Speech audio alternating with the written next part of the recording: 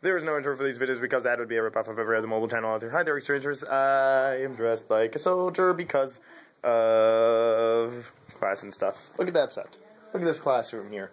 That was built as a set, and then this is our TV production thing, and I was playing a soldier for one of the stuff.